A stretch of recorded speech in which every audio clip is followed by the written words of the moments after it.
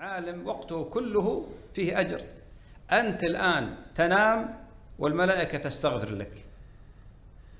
تنام والحيتان تستغفر لك. تنام والنمل في جحر يستغفرون لك. يستغفرون لمعلم الناس الخير.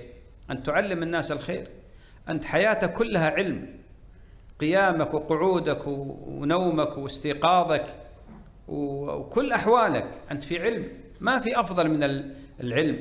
الإمام مالك رحمة الله عليه قال سأله سأله سائل قال ما تقول في رجل يقاد إلى القصاص؟ يعني حكم عليه بالإعدام. وهو يقاد بماذا تنصحه؟ قال يطلب العلم. يقول يطلب العلم. سبحان الله العظيم. قالوا كيف يطلب العلم؟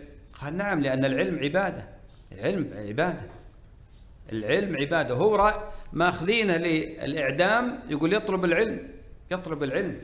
العلم أفضل من نوافل العبادة. في الحديث الصحيح فضل العلم أفضل من فضل العبادة. والإمام الشافعي رحمة الله سئل آه، عن الإمام الشافعي وأحمد وجمع من أهل العلم سئلوا عن قضية إذا تعارض آه، آه، العلم مع نوافل تعارض نوافل العبادة مع العلم أيهما يقدم؟ قال العلم. لماذا؟ لأن العلم نفعه متعدي. والعبادة نفعها لازم وقاصر على ذات الشخص. فرق بين الذي نفعه متعدي والذي نفعه قاصر.